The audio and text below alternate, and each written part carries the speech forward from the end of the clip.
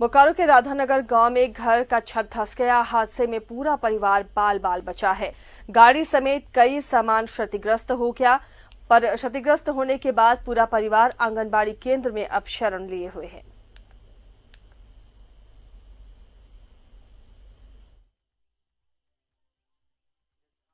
Station गए थे सामान लाने के लिए। घर का राशन सामान लाने गए गए थे। फिर घर में जब आए तो देखे मेरा घर धंसा हुआ है।